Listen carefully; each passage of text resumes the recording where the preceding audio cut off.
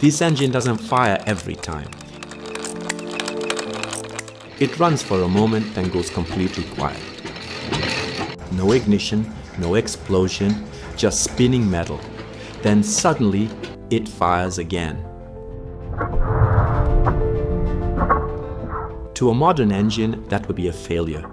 But more than a hundred years ago, this behavior was pure genius. This strange rhythm is exactly what allowed these machines to power farms, workshops, and entire industries before electricity ever reached them. This is the story of the hit and miss engine one of the simplest, most durable, and most misunderstood engines ever built.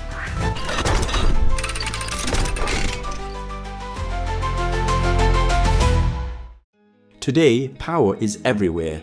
Flip a switch, push a button, and machines wake up instantly. But at the end of the 19th century, none of that existed. Most farms had no electricity at all. No motors, no generators, no reliable source of mechanical power. If you wanted to pump water, you pulled a lever. If you wanted to grind grain, you turned a wheel by hand or used animals. If there was wind, you used it. If not, you waited. Power was inconsistent, unpredictable, and exhausting. As farming and small industry began to grow, one thing became clear. Human muscle and animals simply weren't enough anymore. People needed a machine that could work all day, every day, a machine that didn't get tired, a machine that could run on simple fuel and survive harsh conditions. That need is what pushed engineers toward a new idea small gasoline powered engines that could work anywhere. But early engines had serious problems. Early internal combustion engines were crude. They used basic carburetors, simple ignition systems, and almost no regulation. Once running, they fired continuously, whether they were doing work or not. And that caused a big issue. Fuel was wasted, parts wore out quickly, heat built up, engines shook violently at higher speeds. Without electronics, sensors, or computers, controlling engine speed was incredibly difficult engineers needed a way for the engine to slow itself down automatically when no power was required. They could not control speed precisely, so instead they made a bold decision. They controlled ignition. Rather than firing constantly, the engine would only fire when its speed dropped below a certain point. If it was spinning fast enough, ignition simply stopped. This idea changed everything. The heart of the hit and miss engine is its mechanical governor. As the engine spins, weighted arms move outward due to centrifugal force. When the speed becomes high enough, those weights engage a mechanism that prevents the intake valve from opening fully. No air, no fuel, no ignition. The engine does not stall, it simply coasts.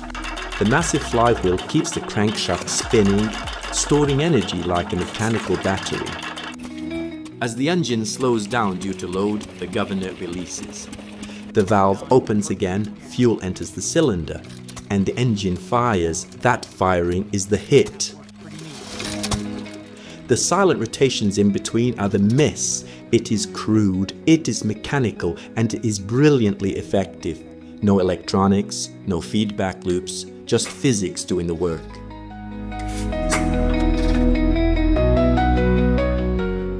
Hit and miss engines were designed for one thing above all else reliability. They ran at very low speeds, often just a few hundred revolutions per minute.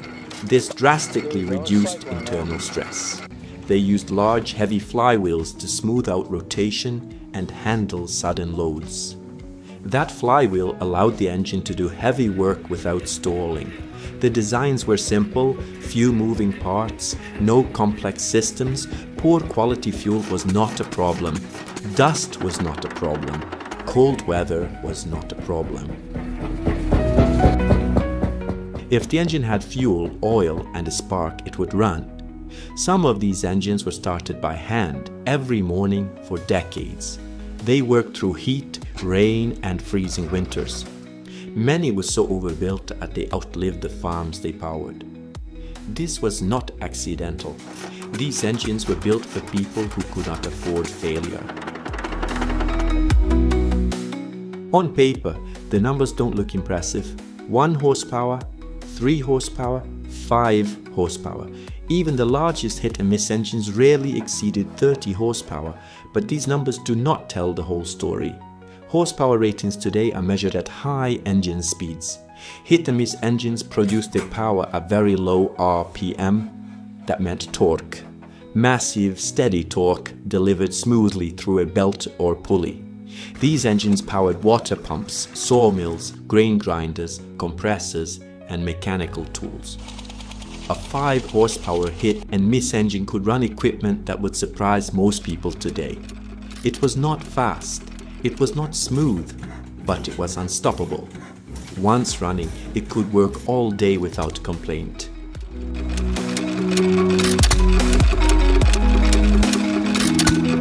Once farmers and workshops saw these engines in action, adoption was fast. Manufacturers began producing them in large numbers.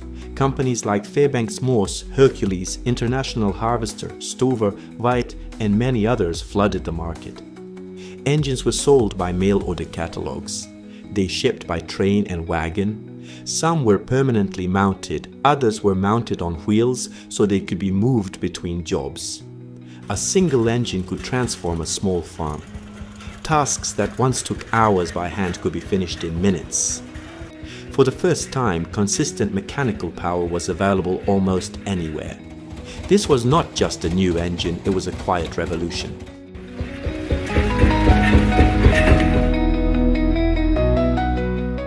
Hit and miss engines were never meant to last forever. As electricity spread into rural areas and diesel engines became cheaper and more efficient, their practical use faded, but they never truly disappeared. Today, many of these engines still run, not because they have to, but because people choose to keep them alive. Collectors restore them, enthusiasts display them at engine shows. Some start them once a year just to hear that sound again that slow rotation, that sudden explosion, that rhythm from another era. Hit and miss engines were not perfect machines. They were machines built perfectly for their time, and that is why, over a century later, so many of them still breathe.